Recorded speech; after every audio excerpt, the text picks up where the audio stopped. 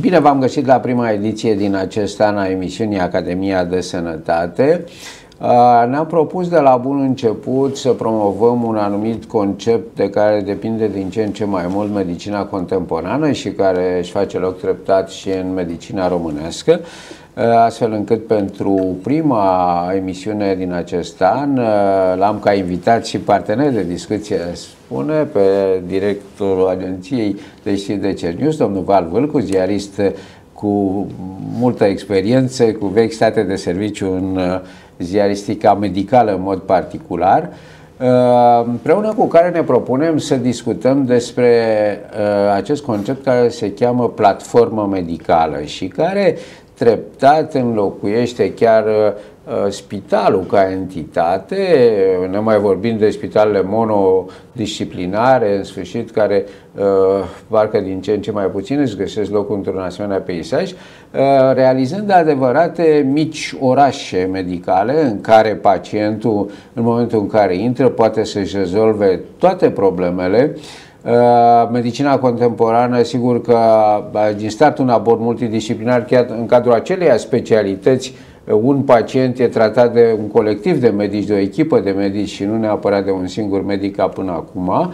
Ehm, și uh, a ieși din această paradigmă înseamnă a-i lua din start uh, șanse uh, bolnavului care are nevoie de îngrijire pentru că nu numai că alergând din spital în spital, dintr-un colț al altul al orașului, nu rezolvă nimic, dar se pierde informație medicală și există chiar riscul uh, unor eșecuri, începând cu diagnosticul și terminând cu tratamentul.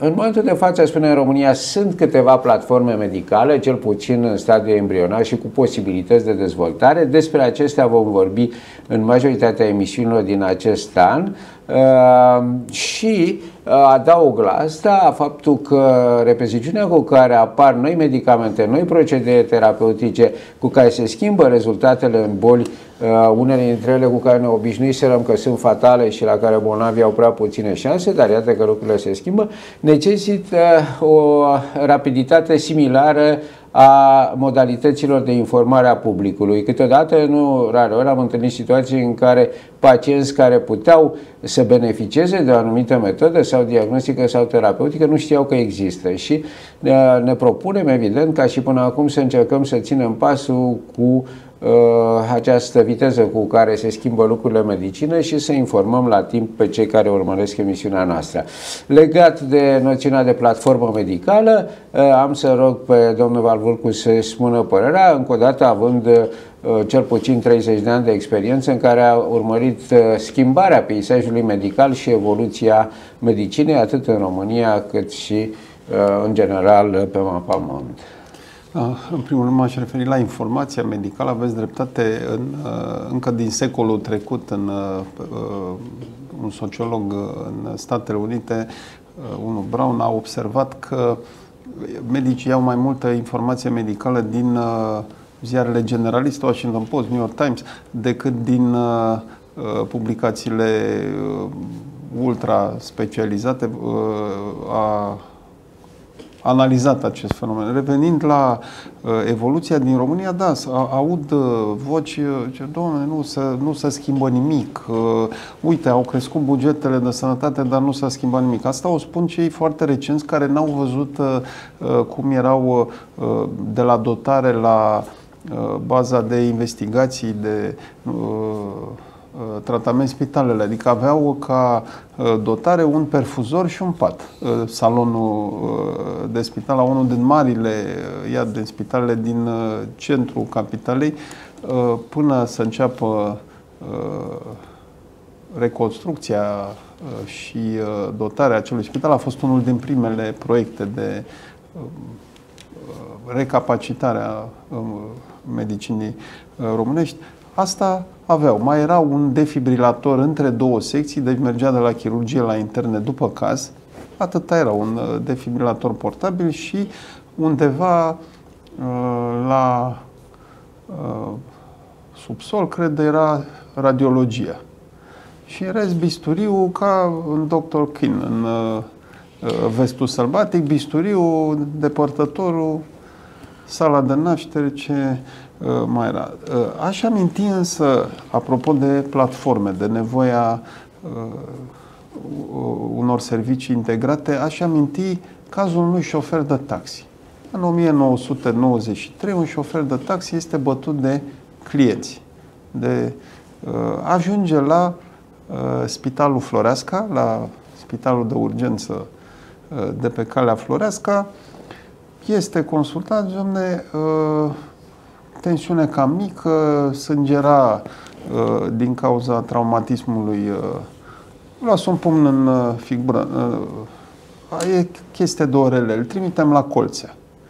E urcat în salvare, merge la colțea, îi se face tamponament nazal posterior, că uh, nu era ușor, uh, nu era doar așa să-i pună un uh, tamponaj în nas, era o hemoragie importantă, dar totuși omul amețea, uh, tensiunea scădea, zice, trebuie să uh, înseamnă că are o uh, lovitură la cap, trebuie trimis la Bagdazar Arseni, la spitalul, uh, pe vremea aceea, spitalul numărul 9. Uh, și este urcat în uh, salvare. Salvarea pentru uh, cei recenți care spun că nu s-a schimbat nimic era nu avea nimic. Deci era, avea targa și un loc pe care stătea un scăunel pentru însoțitor, pentru eventual asistentă. Și moare pe drum. Când ajunge, se constată că avea o ruptură de splină care a evoluat în doi timp și Uh, presa, evident, a doua zi a murit plimbat între spitale, nu s-a putut pune un diagnostic. Bun. Ce, ce diferă de azi, ce, uh, azi când uh, în primul rând trebuie găsit și sancționat vinovatul, e că atunci s-a constatat o deficiență de sistem și au fost puse bazele spitalelor de urgență. S-a hotărât chiar să fie 8 spitale, erau Uh, câte unul de sector între timp. Nu, parcă 8 sectoare erau. Nu știu sau dacă 6. 6 da. Uh, și acum sunt 4. Uh, oricum au, au rezultat mai puțin cu două decât fusese stabilit atunci. S-au preluat experiențe și know-how din, din străinătate. În cazul Spitalului Floreasca, Uh, directorul Alexandru Bucur a uh, semnat un uh, protocol, a colaborat cu Spitalul din Zurich, cei care văd un ceas elvețian la camera de gardă, să știe că e parte din programul de colaborare cu Spitalul de Urgență din Zurich și încet, încet s-au, s-a răspândit acest concept și în, în țară, spitalele județene să fie de urgență și să aibă toate specialitățile, și uh, neurologie, și orele, și uh, ce mai necesar uh, în, uh, într-o intervenție de acest uh, tip. Asta a fost prima noastră luare de contact cu uh, acest concept de platformă da, uh, și invers, asta duce la o serie de schimbări pentru că acele mici unități de care vorbeați nu va mai fi posibil să rămână în continuare, cel puțin nu în forma inițială. Uh, mă aduc aminte așa de un fapt de istoria medicinei, profesorul Juvara la un moment dat a fost uh, repartizat într-o localitate mică din Moldova care se numește Murgeni. Fiind un talent uh, chirurgical uriaș, a făcut acolo sală de operație, tot a început să opereze. E bine, astăzi, dacă se aduce din nou la Murgen, nu mai e posibil să opereze, pentru că dotările actuale și gradul de sofisticare la care a ajuns medicina are alte cerințe, un alt nivel de dotare, un alt nivel de precizie diagnostică și așa mai departe. Adică n-ar accepta pacienții să n-aibă aceeași șansă ca la uh, un spital uh, de vârf. Da, asta e un alt uh, factor care uh, pilotează progresele medicinei și anume uh, dorința pacientului de a beneficia de locul în care are cele mai bune șanse.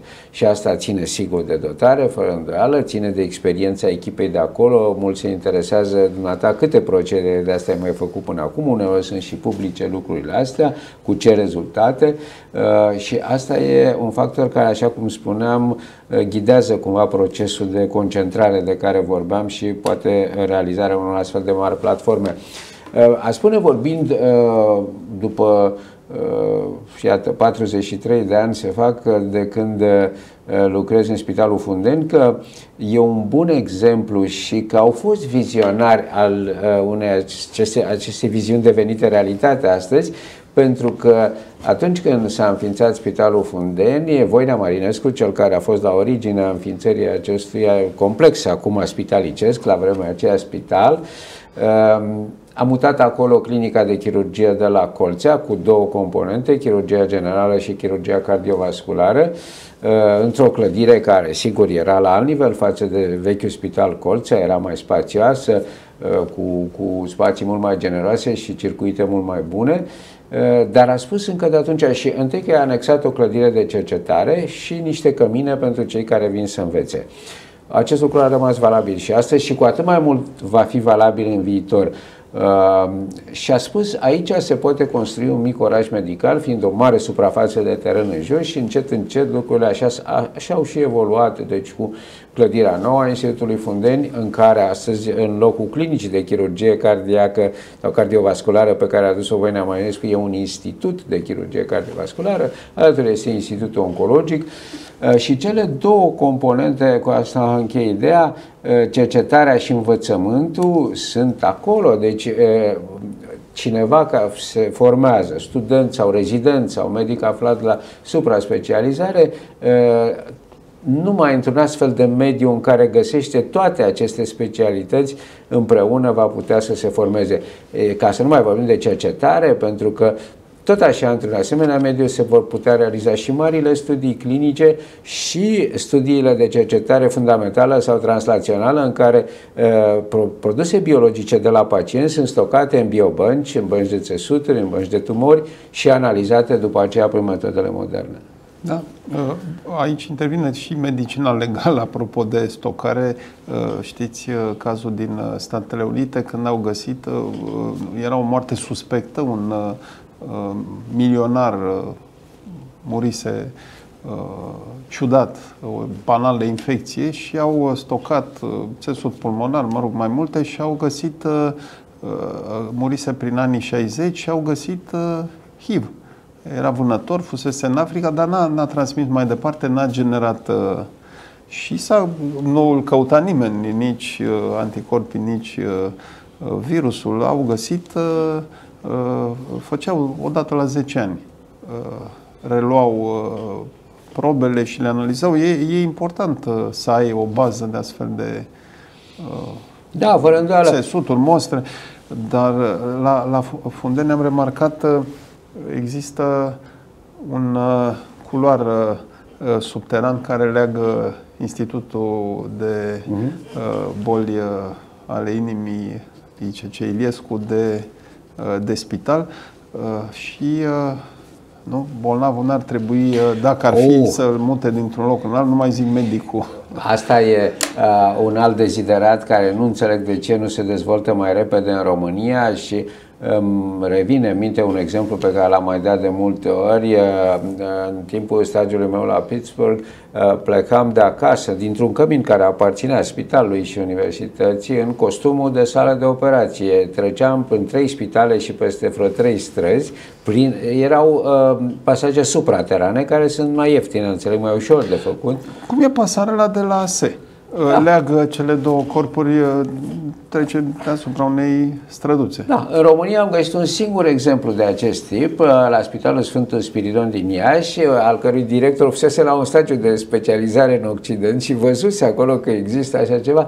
Aceste coridoare, fie că sunt subterane, fie că sunt supraterane, au rolul să funcționalizeze noțiunea de platformă, noțiunea de complex și bolnavul nu iese afară, că medicul, hai să zic că, deși și medicul rămâne în hainele cu care lucrează, se spun, dar bolnavul cu atât mai mult, nu poți să-l scoți afară iarna uh, și uh, devine totul disfuncțional. Pe când cu aceste coridoare, e o problemă pe care am pus-o la modul foarte serios la Fundeni, uh, funcționalizează clădirile între ele.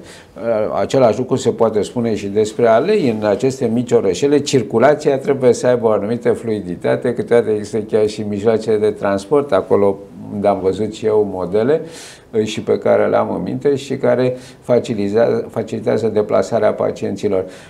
Dar acest gen, ați menționat platforma Bagdazar Arsenie Obregea, specializată în boli ale sistemului nervos, a început la, mai întâi ca un cu bolile psihice, chiar pe vremea lui Alexandru Obregea, pe urmă s-a adăugat o neurologie și o neurochirurgie foarte puternică cu profesorul Constantin Arseni uh, Institutul de Boli Cerebrovasculare. Uh, totuși, chiar... Spitale pavilon, adică multe da, din ele, uh, dacă sunt, sunt unite până astfel de coridor, nu e o problemă. Uh, dimensiunile nu mai sunt potrivite pentru ziua Noi am pornit cu stângul, uh, apropo de Obregea, acolo erau, să spun, sau de ce a fost ales locul respectiv, să fie scoși bolnavi cu probleme psihice, să nu... În afară, în da, da, afara da. localității. Dar uh, am pornit cu stângul în anii 90, era uh, celebra problema a ridicării gardului, pentru că uh, se, uh, conducerea spitalelor uh, dorea să fie și obiectivată să nu cumva să vină aia peste noi, să ne ia posturile de conducere. Deci se, se tot enunța ideea unirii, unificării între spitalul de Uh, boli nervoase, spitalul mm. numărul 9, spitalul de uh, neurochirurgie și uh, eventual și uh, Institutul de Boli Cerebrovasculare și mai ridica un gard, îl mai demola între uh, cele două structuri, la fel dacă ne gândim între colentina infecțioase și uh, Balș. Uh, și Balș. Între Colentina Spital și Balș, tot așa ridicau, uh, dădeau gard, au fost încercări de a comasa uh, cele două da, unități, asta ca picanterie. Ca... Știu, aici ar trebui uh, ca autoritățile să se implice ceva mai mult, pentru că uneori dacă sunt lăsate la libera alegere a celor de acolo, merge greu și nu înțeleg de ce. Uh, s-a, s-a prevăzut în lege posibilitatea apariției unor consorții de spitaluri sau asocieri de spitale. Asocieri, de spitale, da, și a, această uh, lege care e în stadiu de a fi publicată Monitor, cred, a trecut de Parlament, uh, se referă de fapt la cercetare și uh, aceste asocieri voluntare, uh, vorbind de colective de cercetare, ar putea să prefigureze și să ajute viitoarele platforme clinice Uh, pentru că aceste mari platforme au totdeauna și o componentă de cercetare, asta e indiscutabil, și au componente de cercetare clinică, studiile despre care știm și despre care s-a discutat atâta și care până la urmă sunt uh, la fel de numeroase și uh, foarte benefice. Sunt bolnavi a căror ultimă șansă ține de includerea într-un astfel de studiu.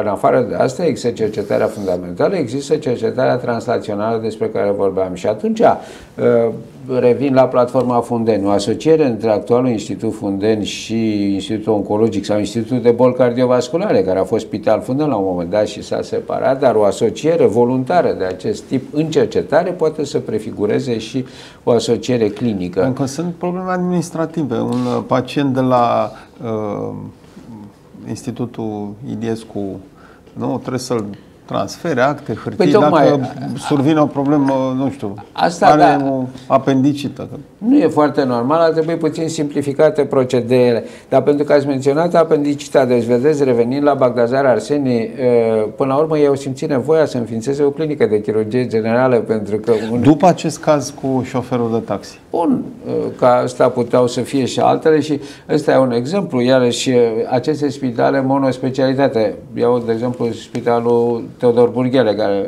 a fost strict de urologie o vreme și a atașat o clinică de medicină internă, cardiologie, deci e greu. Cel din Panduri. Da. Spitalul Panduri cunoscut și într-adevăr nu, nu poți fără să ai și o nu clinică poți, de, chir- de apar situații de genul ăsta și atunci viitorul, în opinia mea, a acestor mari platforme, într-adevăr vor fi avantajate cele plasate deja undeva la periferia orașului. Nici acum nu, acum nu mai e chiar foarte periferie. Fundeniul inițial era în afara Bucureștiului, deci când pleca salvarea din spital, întreba cine mai merge la București. Uh, acum ele au fost cumva înglobate în oraș, dar totuși nu sunt în centru, deci au spațiu pe care se pot desfășura, pe care se pot construi și eu cred că PNRR-ul actual și, mă rog, direcțiile de dezvoltare în sănătate trebuie să țină cont de acest lucru. Uh, pe aceste platforme, mai întâi că e nevoie de clădiri noi. Asta e foarte clar la standardele actuale, cu circuitele actuale, cu, uh, mă rog, cu tot ce înseamnă renunțarea la vechile clădiri, chiar predispuse la uh, un anumit grad de creștere a infecțiilor intraspitalicești. Și aici e o discuție, am uh, văzut la uh, cei care se duc la uh, Paris, acum e în construcție Notre-Dame, chiar în acea piață e un spital. Hotel Dieu e cel mai vechi spital din Paris. Acolo nu sunt infecții nozocomiale. Evident că sunt, sunt peste tot în lume, dar uh, modernizarea clădirilor și apariția unor clădiri noi, să spunem așa, întotdeauna Că circulă legenda, uh, circulă și varianta, domnule, dăm jos, îl ardem, facem unul nou sau îl luăm de la zero. Îl... Da, sunt două, două variante. Asta este una și cealaltă conservatoare. Englezii sunt mai conservatori decât francezii. Le păstrează pe cele vechi pentru că asta e tradiția englezească. Se poate și așa, mai ales când ai un anumit grad de civilizație, uh, totuși psihologic vorbind și pentru medicii care lucrează și personalul medical și pentru bolnavi, o clădire nouă îți dă un alt abord psihologic, să spun, o altă stare psihologică. Nu știu care a fost situația în cazul Vienei AKH, care pare a fi totuși în centru. Nu, nu e chiar în centru. Bun, nu, e, e posibil ca la începuturi să fi fost mai... Mai periferic, sigur. Perimetru. Da nu, nu. Da, aceste... Uh, și care, care e foarte mare, adică e...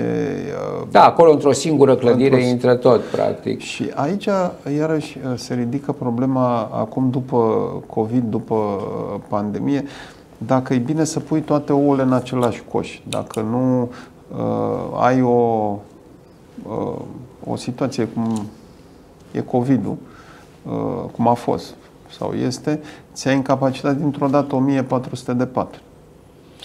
Păi da, da, asta... Pe când așa, dacă spitalele pavilionare au fost avantajate, să spunem, au pus uh, pe cei cu COVID într-un pavilion și-au reconfigurat activitatea. Nu, eu cred că ceea ce s-a întâmplat de la un punct încolo, și anume că toate spitalele și-au asumat cazurile de COVID, de, dacă la început au fost spitale special desemnate, după aceea fiecare și-a asumat pacienții uh, pe care trebuia să-și asume, ar fi fost cea mai bună strategie. Uh, asta pentru că... Dar în interiorul spitalului da, să și în interior. Sunt, da, noi am secții sau zone Da, da nu ne-a dezavantajat că în aceeași clădire la Fundene am avut o zonă COVID și zone non-COVID. Deci faptul că nu au fost pavilioane separate, ci au fost în Da, deranjat. Da, în același timp, uh, procesul medical, gândiți-vă, de exemplu, la două sectoare, uh, laborator și imagistică.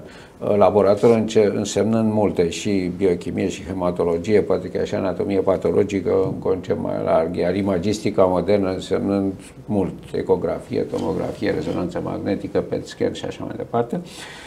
Uh, e bine, uh, aici suntem într-o zonă centralizată, deci aici ajung bolnavi de la foarte multe secții și atunci, cu atât mai mult cu cât experiența e mai mare, aparatura mai sofisticată, Uh, și uh, calificarea medicilor uh, pe toate aceste paliere, cu atât mai ușor se rezolvă cazurile. Bolnavul vine cu, eu știu, o durere abdominală, de el poate are, mai știu, nu știu, o tumoră cerebrală sau altceva. Toate astea, abordul modern este acela de a merge până la capăt cu demersul diagnostic și de a stabili o strategie terapeutică care foarte rar mai ține de un singur, de o singură secție, de un singur medic, nici nu mai vorbim, sau de o singură specialitate. Pentru că s-au acumulat multe uh, cunoștințe, nici nu mai poate stăpâni un singur uh, om uh, uh toate aceste domenii de nișă și uh, mai nou, în ultimii 10-20 de ani, au apărut tratamente pentru bolile rare și dacă Uh, boala rară, ca așa îi spune și numele, nu ai un caz, două, trei pe județ, uh, dacă nu sunt uh, concentrate în, într-un astfel de centru, e greu să spui că doamne, am un om pregătit care face performanță în terapia acelei boli. Nu știu. Sunt da. uh, invers, dacă te uiți, ai un milion de Uh, pacienți în România, după statistică, bineînțeles aici nu-ți descoperiți, nu? Dar după uh, raportat la populație avem cam un milion de oameni cu afecțiuni așa numite boli rare. Da, uh, ca atare, uh, în ideea cu care am și început, deci pe parcursul, uh, în perioada următoare, aș dori uneori împreună, uneori separat, în sfârșit să abordăm acest concept și poate să ajutăm la formarea unei opinii în acest sens și a decidenților în sănătate. E nevoie de o implicare administrativă deasupra nivelului actual de conducere a acestor unități și de coordonare, pentru că uh, în timp, uh, din păcate, uh, s-a constatat mai degrabă o tendință de fragmentare decât de unire, nu știu de ce, uh, însă cu siguranță o intervenție de la nivel superior și de coordonare a lor, inclusiv administrativ. Acum, sigur, nu sunt în măsură să mă pronunț asupra eficienței administrative dacă unificat ar crește sau nu față de actualul sistem. Da, medicii suntem și pe drept cuvânt. Uite, am văzut ce s-a întâmplat la Colțea, că am început uh, da. uh, cu Colțea, când uh, o anumită uh, viziune uh, un anumit management asuprește unele da, secții, păi reduce a fost ponderea... din totdeauna uh, teama și dezamăgirea și revendicarea pe care au adus-o în față uh, specialiștii de-a lungul timpului, am observat-o și eu, acolo unde lucrez și în alte unități, că uh, în funcție de profilul managerului sau de anumite preferințe personale erau avantajate unele secții, dezavantajate. Une, unele n-au fost rele. Uite, faptul că uh, la început, în anii 90, uh, a fost ministru și un ministru foarte performant, academicianul Mincu, diabetul e tratat în România la standarde. Da. Pentru că s-a pornit, există o da, cultură și... organizațională. Există, nu, domne, la noi tratamentul de, pentru diabet este gratis, gratuit pentru cetățeani, e la cel mai înalt lucru pe care nu-l vezi în, al, în multe alte da. specialități la acest nivel. Da, iar pentru că l-ați menționat pe profesorul Mincu în calitate de ministru, uh, am mai făcut un lucru, dacă vă aduceți aminte, am înființat institutele de boli cardiovasculare. Și asta a fost iarăși un mare progres în medicina românească, dar ajungând aici, deci modelul pe care îl folosesc occidentalii este următorul. Platforma este una foarte mare și administrația e comună. Înfundând, de exemplu, acum sunt mai multe centre. E un centru uh, de boli digestive, un centru de boli hematologice, un centru de boli renourinare. Toate aceste centre au valoarea unui institut. Dar nu se poate face institut în institut. Deci nu se poate numi Institutul Clinic Fundeni cu institute mai mici. Și atunci soluția este că uh, complexul întreg are un alt nume, nu știu, mă rog, un denumire administrativă uh, și o administrație centralizată, iar aceste institute, de am, am întors la modelul institutelor de boli cardiovasculare, uh, foarte eficiente, foarte necesare pentru etapa actuală a dezvoltării medicinei, nu au personalitate juridică, dar au statut științific și metodologic și, bineînțeles, de asistență medicală uh, terțiar. Acolo ajung cazurile cele mai grele, acolo învață medicii aflați de la specializare, perfecționare, acolo se elaborează ghidurile pentru sectorul respectiv de patologie. Și aceea a fost o idee foarte bună, iar institutele există și în ziua de astăzi și funcționează cu succes și pe acest model se pot dezvolta și alte unități terțiare care pot căpăta și ele statutul de institut, dar fără personalitate juridică, în cadrul unei platforme foarte mari, coordonate. Uh, Institutul uh, uh, de diabet, care este vecin în același local cu un spital generalist, să spunem. Da, acolo... Boli interne. Și de chirurgie. Și de chirurgie, boli interne, reuma, boli reumatismale. obstetrică, da. E un spital multidisciplinar în care este un institut. Și asta, acolo are personalitate juridică, dar încă o dată nu e neapărat necesară pentru că Lăsând la o parte problema asta a dotării, care e peste tot și în Occident, am văzut uh, la profesorul Bismuth la Paris cum uh, discuta cu echipa că trebuie să ne ducem iar la administrație, să ne rugăm să ne cumpere niște aparate. Aparatele puteau fi cumpărate pentru secția lui sau pentru altă secție. Aici lupta pentru fonduri nu e ușoară nicăieri uh, și de asta unii au simțit nevoia să se separe. Pentru că într-o unitate foarte mare, totdeauna ți-e teamă să nu fii dezavantajat. Totuși, probabil că se pot găsi soluții, în plus avantajul de a funcționa centralizat din punct de vedere administrativ uh, e la rândul lui foarte mare. Uh, pe de altă parte, un specialist, uh, pentru un specialist e suficient să funcționeze într-un institut um, care, în care acest statut e dat doar pe linie profesională. Uh, un profesionist nu e interesat de partea administrativă prea mult, ba chiar uneori e foarte încurcat de partea birocratică uh, și deci un, un statut pe linie profesională de unitate terțiară e suficient ca să funcționeze ca unitate terțiară. Cele care au avut uh, și rangul de institut au fost oarecum favorizate. Da. Dacă ne uităm, de exemplu, Institutul Balș față de Spitalul Victor Babeș. Da, E adevărat. Adică și, și, expunerea publică, solicitările, partea de cercetare e mult mai uh, extins apelul la fonduri europene și, bun, apel așa poți face, dar să... Da, numai că acest lucru e necesar, în, în opinia mea, de fapt, și în medicină, nu numai, dar uh, selectarea unei anumite elite spitalicești are rolul de locomotivă, are rolul de a trage înainte uh, tot sistemul, de a elabora metodologie, așa cum spuneam, de a se raporta la sistemul internațional, la unitățile echivalente. Uh, da, ai... Uh să spunem, uh, activiștii de Facebook care reclamă uh, patriarhatul în medicina noastră. Domnule. Ai altă poveste. Deci, da, eu de aceea am transferat cel mai multe resurse. Pentru că, într-adevăr, fiecare generație trebuie să-și aibă destinul ei și uh, eu rămân cu modelul american în care cineva ajunge profesor între 40 și 45 de ani și are o, o activitate de profesorat de 20 de ani, după care lasă locul generației următoare. Era la spitalul militar, uh, erau, erau mai multe locomotive, să spunem, da. profesorul Cârstocea, uh, la oftalmologie, uh, medicină internă, la inimă, la cardiologie și în armată, mă rog, aici iarăși e destul de ciudat pensionarea rapidă, că în cazul medicinei... În armată, invest... da, știu și păcat că au fost vârfuri. Exact. Și uh, întreb un coleg mai tânăr, uh, dar nu vă bucurați că uh, au plecat... Uh, ce, domnule, nu.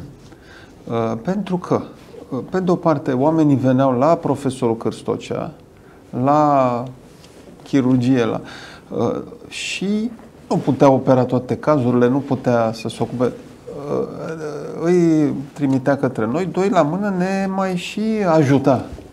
Cu un diagnostic, cu un sfat, cu... Era acolo să mai dreagă eventuale greșeli, adică să simțeau și uh, ei mai uh, da, încă o dată... Uh, la adăpost, cum să zic, la... A, fără discuție, fără discuție. Acum, biologia s-a mai schimbat puțin și vârsta, nu numai în medicină, dar în general, vârsta de pensionare începe să avanseze.